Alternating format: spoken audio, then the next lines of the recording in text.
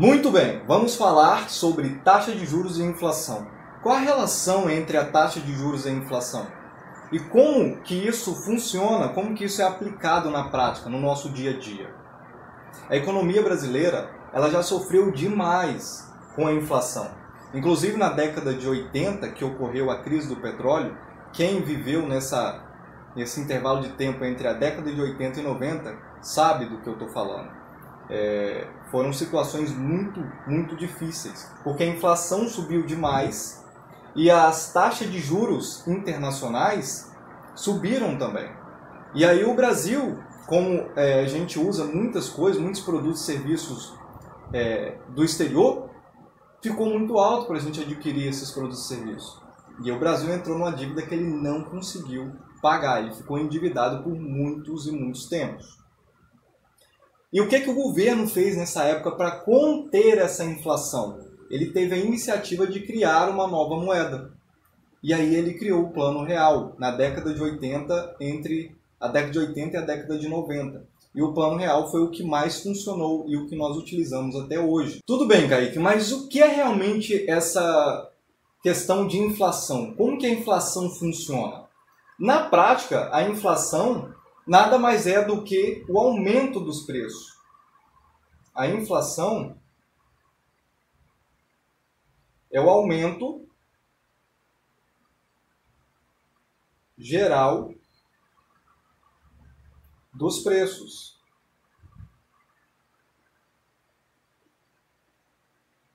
Ok? Então, a inflação é o aumento geral dos preços. Ela está diretamente ligada à taxa de juros. Ela tem uma ligação aqui com a taxa de juros. Deixa eu colocar aqui de outra cor para a gente não se perder. Aqui nós temos a taxa de juros.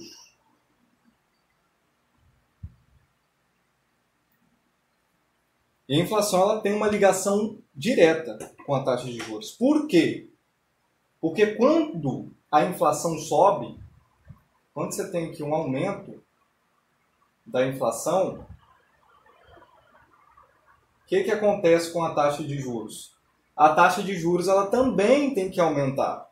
Então você, a, a taxa de juros ela acaba aumentando também. Para que isso ocorre? Por que isso ocorre? Para conter o aumento dos preços, o aumento geral dos preços. E aí o que acontece? Quando essa taxa de juros aumenta, a população tende a investir mais e consumir menos, porque se tem mais benefício. E, e, a, e a taxa de juros alta, as pessoas tendem a usar menos. Usar menos. Cheques, usar menos cheques, usar menos cartão de crédito,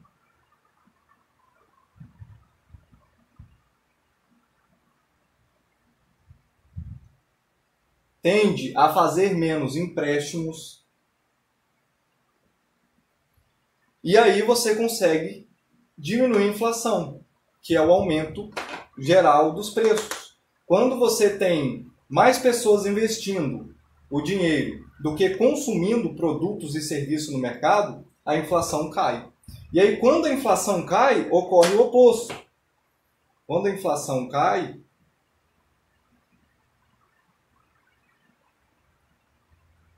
inflação, vou abreviar aqui.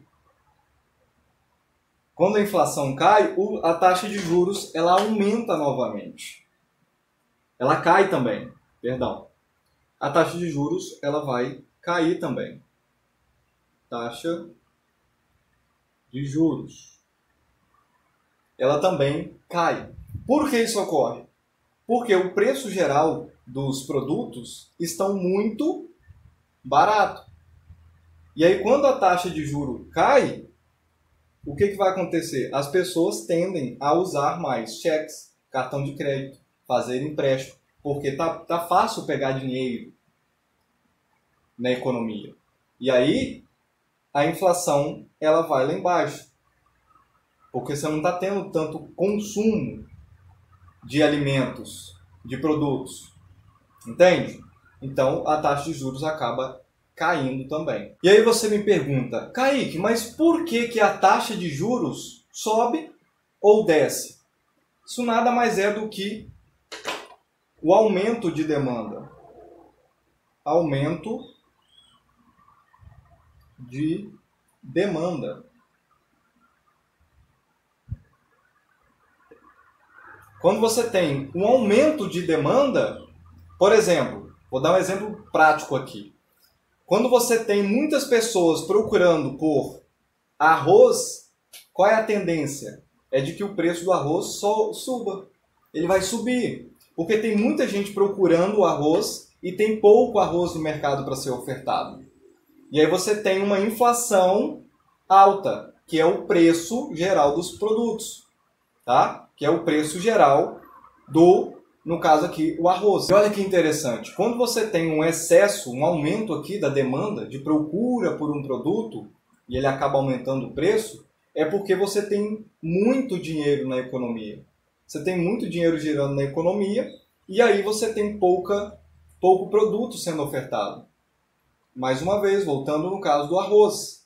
O arroz tinha pouco arroz para vender, porque na crise que ocorreu, nós estamos na data desse vídeo, a crise, a pandemia que ocorreu em 2020, fez com que os países que mandam arroz para o Brasil tivesse esse, esse medo, né? E os produtores também, é, dentro do Brasil, produzissem menos. E aí o arroz, a oferta de arroz diminuiu e aumenta a demanda de procura pelo arroz. E aí ele aumentou de preço e teve muita gente com dinheiro parado, querendo comprar arroz, querendo comprar comida.